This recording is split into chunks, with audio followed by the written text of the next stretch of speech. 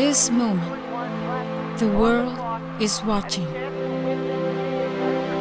This is our time. We are one. In this moment, there are no barriers. Our differences strengthen us.